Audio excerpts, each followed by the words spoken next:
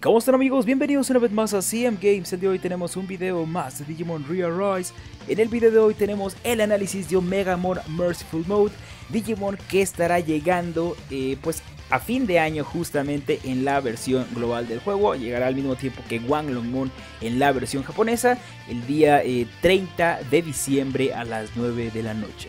Eh, bueno, a algunos sí les llega el 31 en Año Nuevo, a otros les llega el 30. Aquí en México, como les digo, es el 30 de diciembre a las 9 de la noche. A esa hora llegará eh, este banner. Así que pues vamos a ver qué tan bueno es el video, ¿no? Vamos a ver qué, equipo se puede usar y demás. Espero eh, les guste más este nuevo formato que, que, estoy usando, que bueno, fue el mismo que, que utilicé con Tiger. Así que vamos a comenzar. Eh, como decía, Merciful Mode será el Limited Summon de Año Nuevo. Eh, ya se habían filtrado algunas imagencitas por ahí de lo que era su banner y su Clash Battle. bueno, las que había puesto Ryu en el Discord. Los voy a estar poniendo en pantalla. Como pueden ver, pues eh, prácticamente Merciful Mode viene solo. No tiene al parecer ningún acompañante e incluso en las eh, filtraciones, en los Digimon que tienen bonificación, el único que tiene bonificación eh, que no está ya en un banner eh, actual, es decir, Mirage y Shine salían, bueno, con bonificación, pero porque están en un banner ellos aparte, pero el único que salía era Merciful Mode, no había ningún otro Digimon, por lo que sí, probablemente o lo más seguro es que este Digimon venga solo, puede ser algo bueno de cierta forma por la cuestión de que... Digo, si te sale un, un orbe arcoiris con un halo alrededor, pues ya le hiciste, ¿no? O sea, es Merciful Mode, no hay de otra, no hay de que es el secundario chafa o algo por el estilo, no, es Merciful. Entonces, de cierta forma es bueno que venga solo, aunque, no sé, a mí me gusta más cuando viene acompañado de otro Digimon, pues. Pues al menos decente, ¿no? Por ejemplo, digo, el mejor banner, y es por el que yo recomendaría rerolear, es el de Razen y Mitama, porque digo, son dos Digis eh, muy buenos y que estén los dos en un solo banner, le da mucho peso, de hecho, a, que ese sea el pues el indicado, ¿no? Para tirar los Pero bueno, Megamon viene solo. Eh, en su Clash Battle también vemos que los únicos DGB son los de Merciful Mode. Y tenemos la sorpresa de que también vienen tickets de año nuevo. Me imagino que son los tickets del nuevo eh, banner que va a salir. Que lo más probable que era lo que decíamos ayer en el directo. Es que esto lo han de haber hecho por la cuestión de que el banner solo dura un mes y una semana, me parece. Entonces, como dura muy poco, probablemente van a dar más tickets. Bueno, va a ser más fácil conseguir los tickets de lo común. Así que bueno, esperemos poder sacar al, al Rasen GM. Ahora, eh, algo que estábamos esperando también muchos, que tampoco pasó, fue que aumentó. Bueno, parece que no va a pasar más bien eh, es que no aumentarán los rates en el banner de Merciful Mode. Si recuerdan, bueno, aquellos jugadores que ya tengan un buen tiempo, el año pasado, en Año Nuevo, en el banner de Alfamón, que justamente también fue de Año Nuevo, eh, aumentaron los rates de este Digi. Y bueno, muchos veteranos del juego pensábamos que iban a, que bueno, que había la posibilidad de, que hicieran lo mismo, pero al parecer no, serán los mismos, me imagino 7% y 1.5 de probabilidad de, de Merciful. Digo, parece ser. Y es, lo más seguro. Y bueno, ya aquí en la tabla de Excel tenemos marcadito a Omega More Merciful Mode. Nada más le voy a dar, eh, voy a aumentar el tamaño de la fuente. Unas eh, dos veces, ok. Eh, y ahora sí, ya, ya, no hay falla, ¿no? De que no lo ubiquen. vamos a hacer la comparación primero con todos los Brave. Como pueden ver en vida es el que más tendrá. Incluso por fin alguien supera al, al Agumon vínculo. porque digo, ese era el Brave más con mejor promedio de stats. Eh, Omega One Merciful Mode tiene 9000 de vida, lo cual está bastante, bastante bien. Luego en la cuestión del ataque tiene 7023 puntos, que también lo dejan en primera posición. En la cuestión de defensa 3475, que también lo deja en primera posición. Y velocidad de 30, que aquí sí baja algunos este, algunas posiciones, pero aún así está súper, súper bien. Prácticamente está en tercera. O sea, es un Digimon que en todos los stats destaca un montón. Ya tenemos prácticamente al, mejor eh, rojo por promedio de stats. Y bueno, ya contando las skills, también es el mejor rojo, ¿no? Pero bueno, eso lo veremos un poquito más adelante en el video. Eh, pero digo, están viendo esos stats que tiene bastante, bastante buenos. Y todavía para eh, mejorarlo más, sabemos que va a contar con un doble plugin específico. El primer par se va a poder conseguir en el Training Support Set que cuesta 210 rubíes. Y bueno, el plugin, bueno, y el segundo se consigue, ya saben, en el Battle Park Medal Exchange. Ahora, el plugin de ataque lo que le da es 600 puntos de poder y 25% de crítico. Así que eh, este ataque va a estar subiéndose a 8223, lo cual está genial. Eh, el plugin de protección le suma 206 puntos de defensa y 1000 de vida, lo cual pues prácticamente lo estaría dejando casi en los 4000, 3881. 3881 y eh, 1000, no, no son 1000 de vida. Aquí le, le, nerfearon un poquito el plugin de vida, hubiera estado mejor 1000, pero le pusieron 800. Aún así va a estar superando los, los 10.000 porque sería con el doble plugin 1600, por lo cual estaría teniendo eh, pues de 10.608, ¿no? Justamente que está increíble. Esto estoy hablando en un nivel 99, obviamente con Super Awaken pues se va a elevar. La verdad los plugins me agradan, eh, le dan crítico, cosa que le va bastante bien por la main skill, la velocidad, digo, se la puedes poner en las botas y de todos modos tiene una velocidad base pues bastante, bastante decente y eh, competitiva los Digimon que han salido, ¿no? Por ejemplo, los últimos azules han tenido esa velocidad de 30, entonces está súper, súper bien. Eh, si hacemos la comparación de stats con los demás Digis del juego, eh, vamos a ver que en cuanto a vida, también está en muy buena posición. De hecho, está en top 20. Defense, en, perdón, ataque está, ataque está en primer lugar. Ataque tiene hasta más que Pokémon Crimson Mode. Esto no, no, no, me, lo esperaba. bueno, ya es el Digimon con mejor stat de ataque del juego. Y esto por lo cual su error hace muchísimo daño. Y por lo cual eh, si lo llevas con un Digimon que le guste justamente el poder, todavía su error va a bajar mucho más, como Mitamon o, o Wargreymon X en un futuro. Eh, defensa no está nada mal, está en el top 10. Y velocidad, pues también se podría decir que está en el top 10 casi casi. Así que, o sea, todos sus, todos sus stats están entre los 10 mejores del juego. Y pues su, su ataque incluso es, es el mejor stat del juego. Bueno, entonces está eso muy muy cool.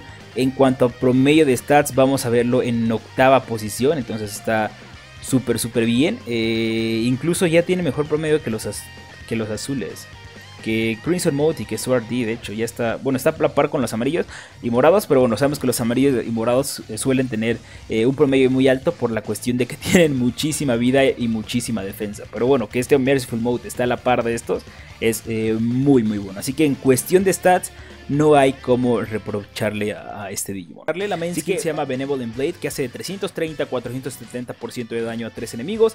Esta skill ignora el bloqueo y en caso de ser un golpe crítico, multiplica el daño por 3.5, además de tener un 80% de probabilidad de causarle error a los enemigos atacados durante dos turnos, es decir, a los tres enemigos. Y el cooldown de esta técnica, pues bueno, empieza en 130 y en nivel 10 es 115 segundos. Es una muy muy buena main skill. Eh, el 80% de error es genial. Y más con el stat tan elevado de power que tiene. Como les digo, eh, en sí el, daño de, los estados alterados de error, quemadura, envenenamiento dependen mucho al stat de ataque. Si tenemos a un Digi como Mitamamon, como eh, Wargreymon X que potencien el poder del Digimon, eh, pues obviamente ese stat se eleva mucho más y, el, daño por error va a elevarse también muchísimo. Entonces es muy bueno, este 80% es una probabilidad bastante, bastante grande. Y aún así, aunque el rival a lo mejor tenga protección, se limpie el estado, eh, pues de todos modos se lleva un golpe fuerte. No es como Shine Grey Burst Mode que no pega tan fuerte y el daño se va exclusivamente en la quemadura. No, este aparte de que el daño tiene eh, se va en el error, mete una main skill que puede hacer 3.5 en caso de crítico. Entonces será un golpe bastante, bastante fuerte, cosa que, que le da un poquito más de utilidad. Luego en la sub skill, que no sé por qué le puse aquí main.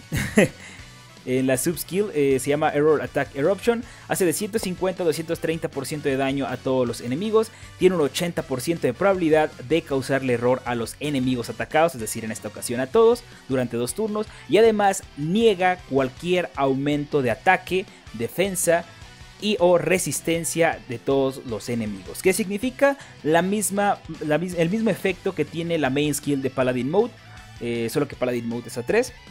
Bueno, la subskill de, Omega es a todos, así que cualquier aumento de, pues ataque o defensa en sí se los va a anular. aunque sea permanente, aunque sea estaqueable, cualquiera de esos aumentos se va. Cosa que puede ser muy buena porque si bien con un debuff lo puedes mitigar, por así decirlo, es decir, si Baihumon te está bajando 50% de tech y tú te subes 60%, digo, de cierta forma mitigas la bajada de Baihumon y nada más tienes un positivo de 10%. Ahora, con Merciful Mode es diferente porque con Merciful Mode estás eliminando ese buff Así que eh, si el rival, por ejemplo, se sube el ataque, tú solo eliminas y Baihumon aparte le está bajando el 50% de ataque. Entonces eh, ya se, ve mucho más. De hecho es algo que se notaba bastante, por ejemplo, en la Clash, en el ranking del mes pasado. Eh, se notaba bastante cuando uno llevaba Imperial Dragon Paladin Mode y cuando no lo llevaba, porque eh, aunque le estuvieras bajando la defensa a la espiral, como él se la subía también, pues ya no era el mismo daño que cuando se la eliminabas completamente con, una skill así. Entonces, este tipo de skill es muy muy buena. La ventaja de Merciful es que le pega a todos e incluso o sea, al bajar la resistencia a, estado, la resistencia al estado cerrado, no, perdón. La resistencia a daño, es decir, la resistencia a daño tech o la resistencia al daño power, haces que el error baje mucho más. Porque lo que mitiga el daño, el daño de, los estados alterados es justamente la resistencia al daño tech o la resistencia al daño power. Entonces, si ellos se lo aumentan, pero tú se los estás negando y además con otro D les estás haciendo el debuff, ese error todavía les va a estar bajando más. Por lo que, eh, si su error va a ser completamente devastador. Y bueno, aquí también tiene un 80% de probabilidad de meterlo, así que está bastante completa también esta subskill. En cuanto a la passive skill del Digimon, podemos ver que también está algo larga. Tendrá un limitador de daño eh, de 1000 puntos, 4 veces. Es el limitador que tienen todos los Amegamon, solo que generalmente lo tienen 3 veces. Bueno, este Merciful Mode lo tiene 4 y durante 7 turnos, así que no será tan fácil limpiárselo. De lane es tirar una, una doble limpiada. Eh, luego el, el segundo efecto es que va a proteger a todos los aliados rojos de lo que es el daño crítico durante 7 turnos. Así que aquí también, aunque lleves a Baihumon, tendrán todavía 2 turnos de protección de crítico, por lo cual también es súper, súper bueno. Pero ojo, nada más es a rojos. Y la tercera es que va a reducir el tiempo de espera de su primer skill tirada en 50% de manera permanente y eh, importante, solo de él. No, no le va a bajar el tiempo de espera a los demás, solo él. Entonces, de todos modos es muy bueno porque si no le clavaste, a lo mejor, bueno, tienes chance de que eh, tirar la subskill para negar cualquier aumento y si no clavaste por ahí algún eh, error o algo así, pues bueno, la vuelves a tirar o vuelves a tirar la main para pegar fuerte. Entonces, muy muy bueno esto, también es algo que puede servir en Clash Battle y en sí eh, tiene muchísima utilidad. Y bueno, ahora de hecho vamos a pasar a la cuestión de, de algunos equipos que, de ejemplo, el primer equipo que les voy a poner aquí es el de Clash Battle, que estamos teniendo de Damage Dealer a Omega Merciful Mode, luego de segundo Damage Dealer a Belzemon Blast Mode, te llevamos de support a Dorugoramon, que aquí, ojo, puede ir Dorugoramon o puede ir Mirage Gaugamon Burst Mode. Lo mejor sería Dorugoramon, ¿por qué? Porque bueno, se va a estar beneficiando de los buffs de, bueno, de la protección de crítico de Merciful Mode, eso es cierto, pero igual por ejemplo en Clash tampoco habría tanto problema si meten a Mirage en sí, eh, pero honestamente yo sí preferiría Doru, porque también, por ejemplo, te da protección a Fate, así que si estás llevando, si estás haciendo una, fuera de espirales, si estás haciendo una clash contra algún Swart o algo así, o en, o en las Clash Underworld, pues bueno, te puede ayudar más eso. Eh, otro damage dealer estamos llevando a Sukeomon, que también es muy bueno. Cuando activa Fury aumenta 100% su ataque. Se va reviviendo cara que tira su, main skill, entonces puede generar muchísimo daño. Y obviamente los supports de toda la vida, Metal Greymon Virus en el caso de Power. Entonces creo que es un equipo rojo bastante, bastante decente en el Clash. Es cierto, no va a ser lo que hacen los equipos azules, porque ninguno de estos tiene esa bonificación extra en caso de alguna personalidad en específico.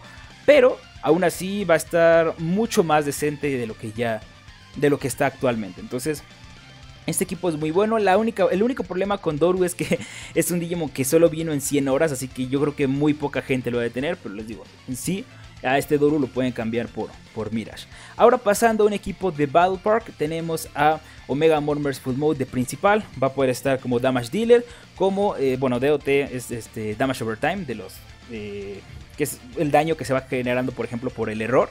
Entonces puedes meterlo como damage dealer, aparte por, los, por el error que mete puede estar de, damage overtime y además eh, de control se podría decir por la cuestión de críticos y, el limitador. Entonces, y bueno, más bien por la cuestión de crítico y más bien y por la cuestión de, de la negada de buffs. Entonces está también puede ser como parte de control.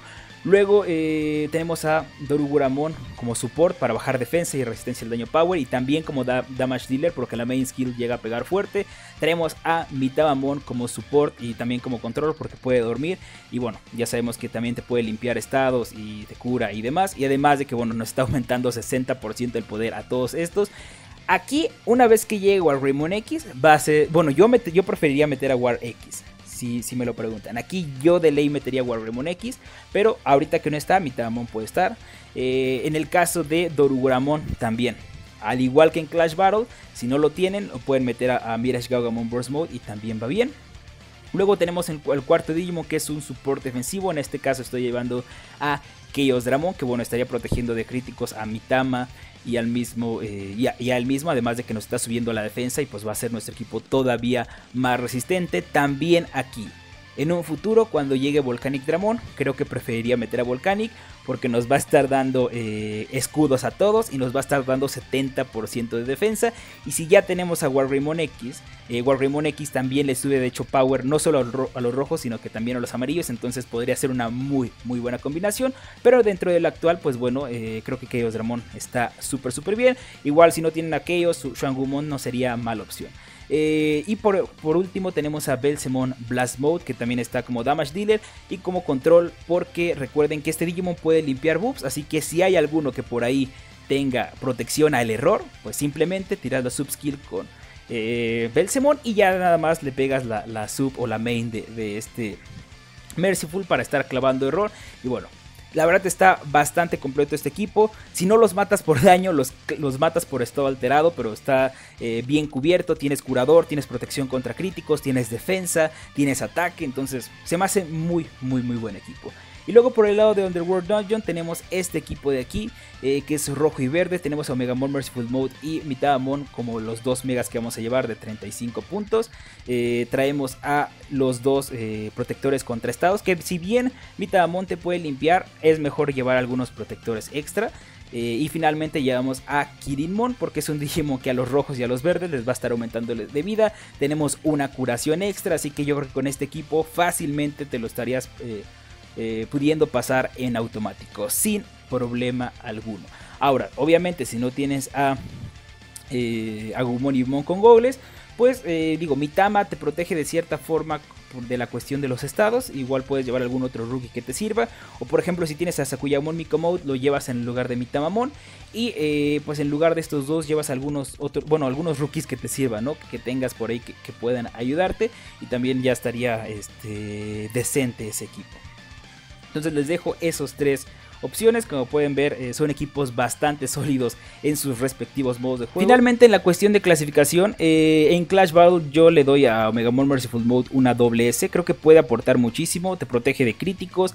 Eh, su, ¿cómo se llama? su reducción de tiempo de espera va a, hacer que tires doble main. Además de que fuera de espirales, porque las espirales no les puedes clavar estado, pero a los Clash normal les puedes clavar el, estado de, error. Entonces ese error va a bajar muchísimo y va a facilitar mucho más las Clash, así que si no tienes un equipo azul, esta es una de las mejores opciones, por lo cual sí le pongo la doble S. En Battle Park, a mi parecer, también es doble S, te proporciona muchísimas cosas. A lo mejor si no puedes llevar un equipo eh, de Power, que bueno, sí, que es no Power, sino rojos. El equipo de Power es la mejor opción para este Digimon, pero si no puedes llevar un equipo así, también le podría sacar un poco de provecho en un equipo de estados alterados gracias a su error. Con Mitamon se lleva muy, muy, muy bien. Eh, llevas a Baihumon para limpiar buffs, eh, a Zulongmon para garantizar casi casi ese, ese error. Entonces puede ir en un, estado, en un equipo de estados. Como les digo, prefiero el equipo rojo, pero también se puede llevar. Entonces tienes por ahí variantes del de, para llevar eh, este, de este, Digimon. Eh, va a aguantar bastante bien, por eso también le pongo una doble S por todo lo que proporciona. Y Underworld Dungeon, pues también le podríamos decir que es doble S, porque va a ayudar a limpiar muy bien. La main skill le pega 3, la sub skill le pega 5, se reduce el tiempo de espera por lo que vas a tener otro golpe, protege a los demás eh, por los, de los críticos, limpia los buffs de los enemigos. Entonces es un Digimon que sí te puede servir en los tres modos de juego sin problema. fácilmente entraría en el top 10 de los Digimon de, de este año. La verdad no me he puesto a pensar en qué lugar entraría, pero sí, de, ley, de ley lo pondría. De hecho, en la tier list que hicimos mis amigos y yo de la versión japonesa, lo pusimos en la tier más alta, como lo pueden ver en la imagen, así que incluso en la japonesa puede eh, seguir rindiendo. en la cuestión del Super Awaken, pues creo que no hay duda alguna, si estamos viendo que es un Digimon que en la japonesa lo ponemos alto y aquí es bueno en todos los modos de juego, el 125 es obligatorio. O sea, es un Digimon sumamente bueno, te va a rendir un buen tiempo. Y una vez que empiezan a llegar más rojos, Wargreymon X, eh, Leopardmon Leopard Mode, ¿cómo se llama? Este Ulforce Vidramon rojo, entonces va a relucir mucho más, se va a poder armar un equipo rojo mucho más poderoso, entonces eh, Merciful Mode, claro que, que, que, va a estar ahí presente, ¿no? Porque es primordial en un equipo rojos, de rojos, así que bueno.